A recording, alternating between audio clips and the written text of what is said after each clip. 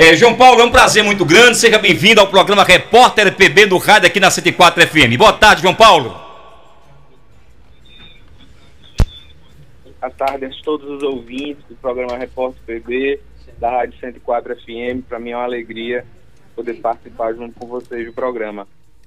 João Paulo, vamos direto ao assunto, como já diz um colega vamos de imprensa. Lá. Como é que está o partido na cidade de Souza? Recentemente houve uma mudança no diretório aqui do município. Me fale sobre essa questão. Isso, o PSD tinha até 31 de dezembro de 2017 um órgão definitivo dentro de Souza, um diretório do municipal, que caducou, ele iniciou a vigência em 25 de maio de 2016, caducou em 31 de dezembro de 2017, e nesse intervalo de tempo entre, entre 31 de dezembro de 2017 a 4 de outubro de 2019, Souza ficou sem a presença de um diretório e de uma comissão provisória municipal do PSD. Logo em 4 de outubro, o presidente estadual do partido, prefeito Romero Rodrigues, decide por nomear uma comissão provisória do PSD em Souza sobre a presidência do nosso amigo Fábio, com Flaviana como vice-presidente. Você, você, João Paulo, está me dizendo que a atual direção teve ou não nenhum interesse ou não teve nenhum interesse de renovar a diretoria? Você falou a palavra caducar a diretoria em Souza? Isso, o PSD de Souza não manifestou nenhum interesse em fazer as convenções municipais, respeitar os prazos legais previstos dentro do estatuto e também não conseguiu, é, a, a, estadual não conseguiu contato com o pessoal de Souza por um tempo. A época, a presidente Eva Gouveia, tentou falar com a presidência do PSD em Souza, não conseguiu. E aí, logo em seguida, quando o prefeito Romero Rodrigues assume a presidência do PSD, ele faz uma articulação política que leva Fábio à presidência do PSD em Souza, o objetivo de montar um time, de montar uma estrutura e de fazer com que o partido se saia bem nas eleições de 2020. Essa é uma recomendação do presidente Romero para Souza e para todos os outros municípios. Fortalecer o PSD e fazer com que tenhamos um time muito bacana, um time bom, já nas eleições de 2020. Por falar em time, João Paulo, você sabe que o partido em Souza tem um vice-prefeito e tem dois vereadores. Nessa transição de mudança de diretório aí, eu queria saber como é que vai ficar a questão política deles. Haja vista e entendendo que o partido PSD hoje na Paraíba é um partido ligado mais à oposição. Souza, como você sabe, você conhece a história política desse estado, Trata-se do prefeito Fábio Tairone, que está na base governista. Como é que vai ficar então a posição desse partido aqui no nosso município, a partir dessa nova direção é, de Fábio Braga, que está na, na direção? Eu já intercalo outra pergunta. Fábio Braga terá carta branca do partido para tomar as decisões que forem necessárias?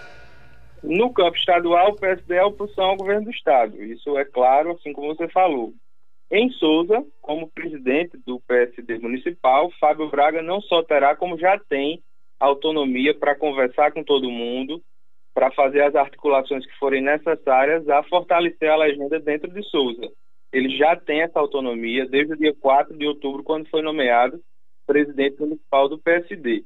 Em relação aos vereadores filiados e ao vice-prefeito, a recomendação da estadual é que a presidência municipal do partido em Souza converse com eles, interaja com eles. A ideia é que a gente tenha dentro dos nossos partidos vereadores, que a gente permaneça com eles. Agora, claro, dentro de um alinhamento político, dentro de um pensamento único, dentro de um pensamento que seja o de fortalecer a legenda dentro do município, entendendo a realidade local.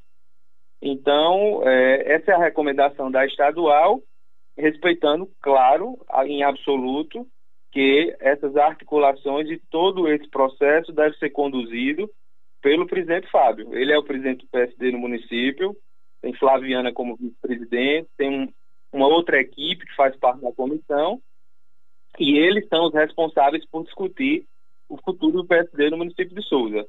Essa é a determinação da presidente estadual do partido quando nomeou a nova comissão dentro do município de Souza do PSD. Muito bem, vamos é, é, abrir espaço aqui para os nossos colegas também participarem e conversar com o João Paulo, que é o delegado geral do PSD da Paraíba. Meu caro Artan, conversa aí a sua pergunta. Ó, oh, na verdade, o partido, após vir para a mão de Fábio Braga e da ex-primeira-dama, né, é, Flaviana, Flaviana Palmeira, Palmeira tomou um, um, um, rumo diferente. Isso quer dizer que alguns personagens já não fazem mais parte? Mas faz parte? Todos aqueles que são filiados à legenda. Nós respeitamos a posição de todos eles, agora entendemos que a presidência municipal atual é a responsável por conduzir, por conduzir a articulação política do partido dentro da cidade. Está sobre eles a responsabilidade de criar dentro do município de Souza uma articulação para fortalecer a legenda para as eleições de 2020. Esse é o nosso entendimento. Nós respeitamos a presença de todos os filiados, todos eles são importantes para o PSD, mas entendemos que, depois de uma decisão do nosso presidente Romero Rodrigues, o PSD em Souza passa a ter a presidência de Fábio, a vice-presidência de Flaviana, e eles, juntos com os outros filiados, com o restante da comissão, devem decidir o futuro do partido na cidade de Souza. O, o, o João Paulo, digamos que a direção do município aqui, do partido, encaminha algumas diretrizes ao vice-prefeito Zé Nildo Oliveira, a dois vereadores que fazem parte do partido e eles não queiram é, é, é, cumprir com essas diretrizes que o partido esteja direcionando. Quais serão as penalidades que essas autoridades possam ter se caso não obedeçam às resoluções que o partido esteja tomando aqui na cidade de Souza? Bom, os direcionamentos devem ser todos com base no estatuto partidário, no estatuto do PSD. Então, o que prevê o estatuto do PSD será um norte de recomendação para a presidência municipal tomar qualquer decisão. É uma coisa que precisa ser cumprida porque é o nosso regimento, é aquilo que estabelece regras para o nosso funcionamento, no campo nacional, no estadual e no municipal também. Então, é, a direção municipal pode, claro, estabelecer resoluções dentro do município, respeitado o que há dentro do estatuto do partido, e, portanto, essas resoluções elas devem ter é, cumprimento por todos os filiados, independente dos cargos que ocupam. Dependendo do cargo que ocupa, é, o que diz o estatuto do partido? Detentores de cargos, eles são devedores de pagamento de alguma cota direcionado ao partido? Se são Souza, os vereadores e o próprio vice-prefeito estão em dia com essas cotas? O estatuto estabelece uma contribuição dos filiados e daqueles que ocupam mandato. Isso está previsto no nosso estatuto. Mas no município de Souza nós não temos nenhuma movimentação financeira que corresponda a essa contribuição. E, e, e nessa não movimentação financeira, o partido pode cobrar? Pode, pode cobrar porque é algo que está previsto dentro do estatuto do partido. Pode cobrar, pode vir a cobrar sim. E se eles não pagarem, o que a, a, acontece? Bom, aí isso tem que ser discutido dentro do partido, respeitada a legislação do nosso estatuto. Isso precisa ser pensado, conversado, isso precisa ter uma reunião com todos os filiados, com a comissão. O processo é esse. O que a gente pode exigir é o cumprimento de absolutamente tudo aquilo que está previsto no estatuto do partido. Tan Almeida. Olha só, o partido ele tem suas seus caminhos, né? Quais serão os caminhos para próxima é, é, o próximo período eleitoral com candidaturas em ambos os segmentos? Fortalecimento do partido em todas as cidades. Esse é o objetivo do presidente Romero.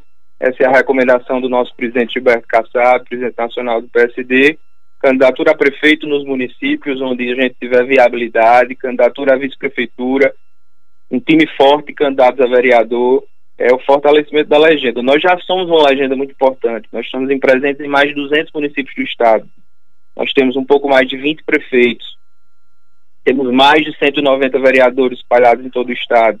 temos o deputado estadual Manuel Lugério, temos o prefeito Romero, presidente estadual do PSD. Então, a recomendação para as eleições de próximo ano é fortalecimento do partido. O, João Paulo, só para a gente fechar sua participação, já agradecendo, evidentemente, esses esclarecimentos, que é o mais importante, já que Souza deve estar borbulhando com relação a esse assunto, é, diante dessa questão, deixar bem claro de que uma entrevista, inclusive, que o vice-prefeito me deu, né, é, dizendo que, é, avisando para os navegantes, de que ninguém pode mexer no partido, porque se trata aqui de uma comitiva, de um diretório, né, formado e não de uma comissão provisória. Mas você deixou claro aí de que ah, no, no, começo de 2000, no final de 2019, 18, perdão, é, houve a caducação da própria renovação da diretoria e isso o vice-prefeito não fez. Portanto, é, diante dessa questão, ele não tem mais nenhuma gerência no partido, mesmo sendo ele eleito dentro dessa comissão, é, nessa diretoria permanente? O diretório do PSD venceu em 31 de dezembro de 2017. Portanto, caducou a presença de um executivo do município, do PSD dentro do município. Dentro das prerrogativas de presidente estadual, o prefeito Romero Rodrigues decidiu por nomear Fábio como presidente do PSD do município de Souza. E a Fábio está delegada as responsabilidades de cuidar do partido dentro do município. Portanto, não há essa ideia de que isso é, é não é válido. A comissão é válida, está publicado no, no sistema de gerenciamento de informação partidária do TSE é uma decisão do presidente estadual dentro de suas prerrogativas estabelecidas pelo estatuto do PSD. Portanto, o presidente é Fábio e essa é uma decisão que já foi tomada pelo, pelo prefeito Romero Rodrigues e não, não há questionamento em relação a isso, porque está dentro das prerrogativas dele como presidente estadual do partido. Muito bem, João Paulo, muito obrigado pela sua participação e também os seus esclarecimentos, inclusive dando norte, dando assuntos, evidentemente, para que as pessoas possam se situar no, no, no tocante essa questão que se refere ao PSD aqui no município de Souza. As suas considerações finais e muito obrigado pela sua participação hoje com a gente. Ah, eu que agradeço a todos, para mim é uma alegria participar do programa de vocês, participar, poder oferecer a nossa contribuição com algumas informações para esclarecer é, essas dúvidas que estão em relação à presença do PSD no município de Souza. Como falei no começo, o PSD está presente no município de Souza, a estadual tem o interesse de fortalecer o partido, tem o interesse de fazer com que o partido saia grande dentro do município. Temos muito respeito por todos os filiados, por todos aqueles que ocupam o mandato, mas temos um norte, uma direção, e dentro do município, esse norte e essa direção deverá ser dada pelo presidente Fábio, pela vice-presidente Flaviana Gadelha, pelos outros membros da comissão executiva e, claro, em conversas com aqueles que têm mandato dentro do PSD no município e todos os filiados que devem oferecer a sua contribuição ao partido dentro do município de Souza. Isso em Souza e em todo o estado. Essa é a recomendação da nacional do PSD e da estadual também, através do nosso presidente, prefeito Romero Rodrigues. Ok, João Fábio, muito obrigado, irmão, mais uma vez pela sua participação aqui. Grande abraço, grande abraço. Tá aí, Arthur Almeida. Eu vou dizer mais o que com relação a essa balbúrdia toda é, envolvendo o PSD no município de Souza. É, na verdade, não precisa dizer muito não, viu? O partido já tem rumo, caminho e motorista para guiar.